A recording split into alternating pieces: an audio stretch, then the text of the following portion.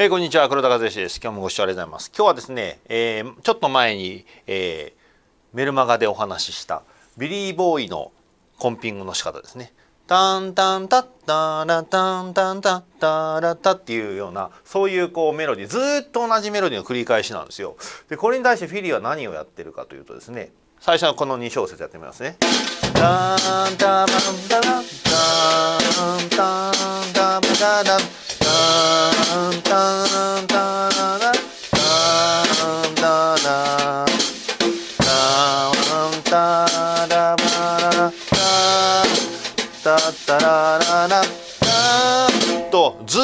でいけるんですよ。だけどこれだとすごくワンパターンになっちゃうので、で、2回目は、ここはこうバスドラでシンコペーションをこう受けて、4拍目のハイハートお休みして、ターンバダバダダ、ダーンダダダダ、ダダダ、っていうふうにアプローチすると。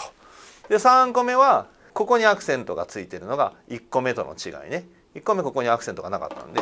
タンダマタタンタンタララタンタンというふうに同じメロディーに対してアプローチ全部変えてるこいつはもう1個目と全く一緒ねで、えーと、これは、えー、こここをスネアからスネアに行ってでバスドラでシンコペーション。でここが「タッタランララ」のところが「ウタッパタンタタ」に対してラを入れて「これだけでめっちゃかっこいいですね。でえっ、ー、と左からだから「ってやると「ウタッタダンラダッタ」ってやると足はちょうどヘミオロになってでちょうどここのシンコペーションのところここだけハイハット開ければいい。2段目やると「タンタンテタンタタタタタタという具合にめちゃくちゃかっこいいというかワンパターンになりがちなものをちょっといろいろニュアンス変えて歌い方変えて全然こう飽きさせないフレーズになってるってことですね。これがもうフィリーがあの当時1950年代のもうジャズ CD 総なめにしてるぐらいもうあっちこっち出てるのが他の人がやってて気持ちいいところに音がスコンスコン入ってくるんですね。だからフィリーはもうとにかくこうコンピングしたやつをこうやって譜面に起こしてみてもうそれを一緒にメロディーと歌って叩くだけでしびれるというかもう組み立てがめちゃくちゃうまいんでなのでまあフィリーはおすすめですね。これをやれると。そうすると1番は「タンタブンダタ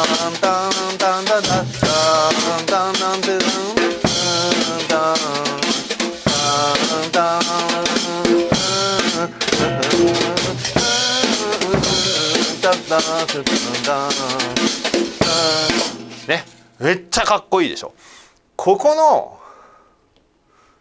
青で今から書くとここにバスドラが2発「うったたんだたたた」これもうこれなんかこれ今やってるよりもっともっと原曲早いんであのブログの方には多分その原曲のここのコンピングのとこ貼ってあるんでちょっと聞いてもらうと分かりますけどはあって思うぐらいすごいクオリティですね。じゃあ、えーと、次の段階に行こうかなと思います。この A これも同じメロディーですが「タンタンタッタ」のところを「タン」っていうのは足は「うたんタンタ」だから2声で。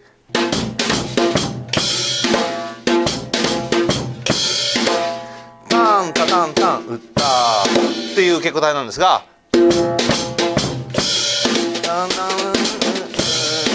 ていう感じですね。もういきなりかっこいいって感じですね。同じこのフレーズをこっちで。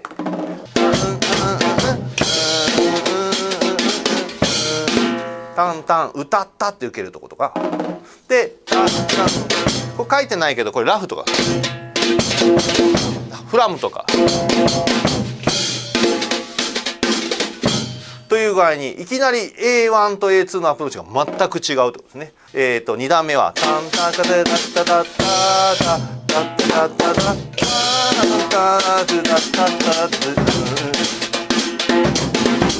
もうここまでですごい猛烈なこう展開力というかこう一つのフレーズをずっとこれでもできるけどこのこのフレーズに対してもうとにかく展開しまくってるんですよ。こことかも展開してるしねもうめちゃくちゃすごいっていうかまあ本当にあのこうフィリーはこうこうやってコンピングを取っておおって思うと、まあ、神棚に飾ってこうしたいくなるぐらいもう本当にメロディーに対してのドラムの対旋律の作り方があまりにも素晴らしすぎてまあここら辺ですね。なので、えーと、この A メロのところが同じメロディーこの A ダッシュはえっ、ー、とだからタンタランタンタンタランタンタンタランタンタンタンタランって全然違うフレーズをやるのでなのでここはまあちょっと置いといて今日はね A2 をやると one two three four。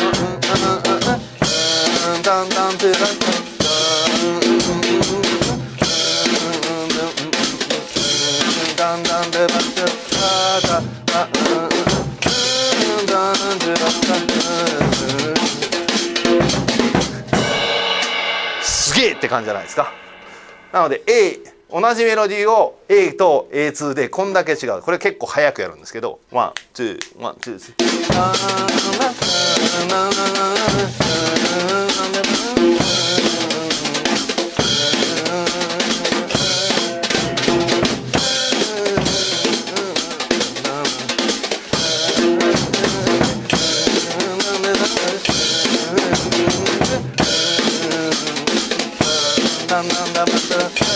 え